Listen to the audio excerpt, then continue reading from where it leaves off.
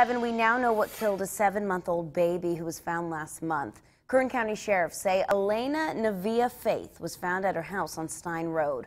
The young girl was unresponsive and was taken to Mercy Southwest where she died. After her autopsy was completed, the coroner ruled that she died of blunt force trauma. Her death is now being considered a homicide.